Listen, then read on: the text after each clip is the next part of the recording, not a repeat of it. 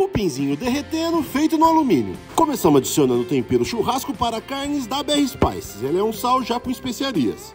Passa por todos os lados e agora a gente vai para a churrasqueira para dar uma tostada nesse cupim antes de embrulhar. Tá lindão assim de todos os lados, vamos pro alumínio. Para não correr risco de rasgar, eu dou 6 voltas de papel alumínio. Para finalizar, antes de embrulhar, a gente coloca uma colher de sopa de manteiga. Agora é só torcer os dois lados bem apertadinho e voltar para a churrasqueira. Churrasqueira com fogo médio, a gente vai virando ele a cada 15 minutos. Quanto mais ficar, mais macio e esse meu eu mantive por 3 horas. Deixa ele descansar 15 minutinhos e já pode cortar.